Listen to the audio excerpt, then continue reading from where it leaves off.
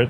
I'm so excited to cover the team this year. I will be covering the entirety of the 2024-2025 season for the Clippers here at the Sporting Tribune. I'm so excited for that. I will be your guys' uh, insider access. I'm going to be doing player interviews, going to practices, going to every game, uh, hopefully, God willing.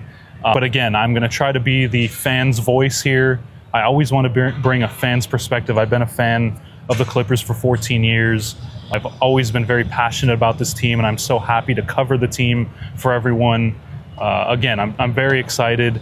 Uh, but this stadium, it is top notch. It is top class. It is from the inside out, all the intricacies, the concourse, everything you'll see that I show here is going to be, it's really luxury. And I'm so excited for, for Clipper fans to experience this. So again, I'm in awe. I'm dumbfounded to actually be here. It's almost near completion. There's still some things going on, but the Bruno Mars concert will be the official open on August 15th. And then we'll have a preseason game here.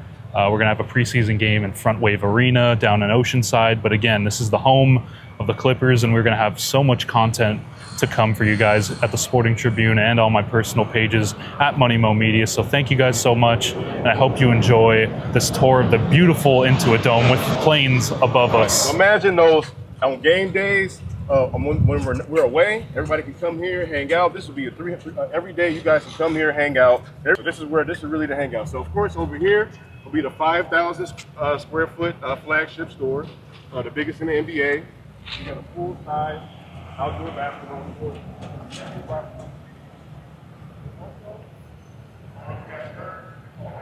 The flagship store, the main store for the Clippers. So you can go and get all your merch. Beautiful screen. 4K screen. The full basketball court.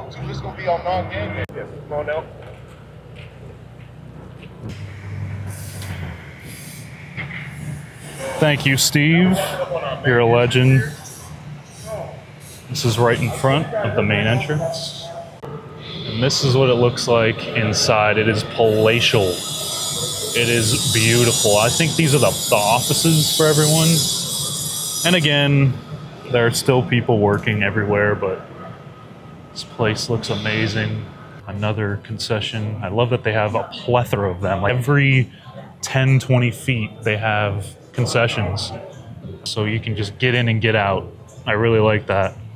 So the Clippers are doing it where there are no TVs in any of these concourses. If you look, there's no TVs because they want you to just get in here, get out, use the restroom, get back to your seat, which is awesome. And they're going to make it, they said two minutes is how long it's going to take for you to get out here, get what you need, and get back to your seat. More bathrooms. I can't emphasize how many bathrooms there are here. And you know, obviously we talked about it a lot and it's been a lot of talk about the bathrooms, but literally every 50, 100 feet, there's more bathrooms. And I, that, I love that about this arena is that you can just get in and get it's out. The wall with all of, looks like almost all of the high school teams. So you'll be able to, to find things there.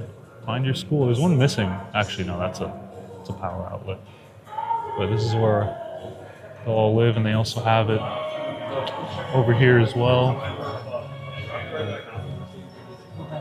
More of the uniforms. Every high school in California has their jersey up here, which is awesome. This is the Intuit Dome. Look at that halo board.